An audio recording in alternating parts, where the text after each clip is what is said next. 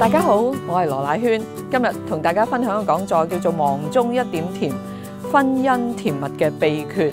点解会讲呢个讲座呢？因为我发觉咧，香港好多嘅家庭咧，就将所有关注力摆晒喺小朋友身上，小朋友咧就变成父母嘅第三者。但系其实婚姻都好紧要噶。当我哋婚姻甜蜜嘅时候咧，孩子咧就自然会更加听话，咁成个家庭咧就会更加和谐噶啦。